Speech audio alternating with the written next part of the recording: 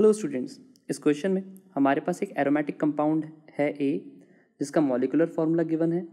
जब उसकी रिएक्शन हम आयोडीन एंड डाइल्यूट एन के साथ करवाते हैं इट गिव्स येलो पीपीटी तो उस कंपाउंड का हमें स्ट्रक्चर आइडेंटिफाई करना है। तो चलिए इस क्वेश्चन को सॉल्व करते हैं। अगर हम स्टार्टिंग में बात करें that is C eight H ten O इसका डिग्री ऑफ़ अनसेचुरेशन कितना है? आई होप आपको कैलकुलेट करना आता होगा। दैट इज़ फोर इसका डिग्री ऑफ़ अनसेचुरेशन है फोर और जब हम इसकी reaction I two plus N H के साथ करवाते हैं इट गिव्स येल्लो पीपीटी हम सब जानते हैं this is very famous iodoform test ये आइडोफॉर्म टेस्ट है। इस रिएक्शन में हमें C H I three obtain होता है विच गिव्स येल्लो पीपीटी तो हमें पता होना चाहिए कि आइडोफॉर्म टेस्ट कौन से ग्रुप्स शो करते हैं। तो हम जानते हैं, ऐसे कंपाउंड जिसमें मिथाइल कीटोन ग्रुप हो मिथाइल कीटोन ग्रुप हो, वो कंपाउंड्स हमें पॉजिटिव टेस्ट शो करते हैं।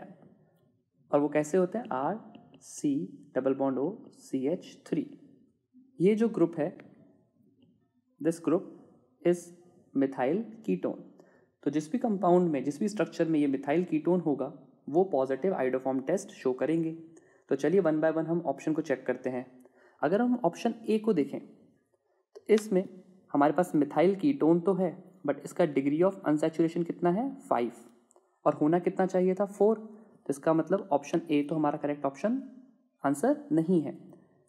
अब हम देखते हैं ऑप्शन बी अगर मैं ऑप्शन बी की बात करूँ तो उसका स्ट्रक्चर कुछ ऐसा बनेगा। सी सी एच थ्री जब हम इसकी reaction I two N H के साथ करवाते हैं तो इसमें मिथाइल कीटोन ग्रुप तो है नहीं बट आई टू और एन एच एक माइल्ड ऑक्सीडाइजिंग एजेंट होता है that is N A O I ये करता क्या है?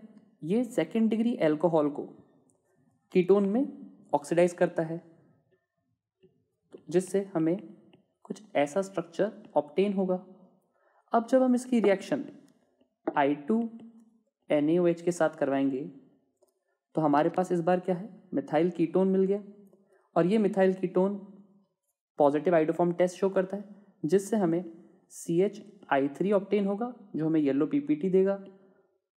और साथ ही साथ में हमारे पास कार्बोक्सिलेट आयन भी ऑप्टेन होता है। तो ऑप्शन बी में डिग्री ऑफ़ अनसेचुरेशन कितना है? फोर और ये पॉजिटिव आइडोफॉर्म टेस्ट भी देता है। तो इसका मतलब हमारा करेक्ट ऑप्शन कौन सा होगा? ऑप्शन बी अगर मैं ऑप्शन सी की बात करूँ, इसमें मिथाइल कीटोन प्रेजेंट नहीं है और जो एल्कोहल है, वो है प्राइमरी एल्कोहल जो कि ऑक्सीडेशन के बाद हमें क्या देगा? एल्डिहाइड और एल्डिहाइड हम जानते हैं आइडोफॉर्म टेस्ट शो नहीं करते तो इसका मतलब सी क्या होगा? इनकरेक्ट ऑप्शन डी में भी मिथाइल कीटोन भी नहीं है और ना ही ऑक्सीडेशन के बाद हमें मिथाइल कीटोन ऑप्टेन होगा। तो इसका मतलब ये भी क्या होगा? नेगेटिव आइडोफॉर्म टेस्ट शो करेगा। तो डी भी इनकरेक्ट होगा। तो करेक्ट ऑप्शन होगा ऑप्शन बी थैंक यू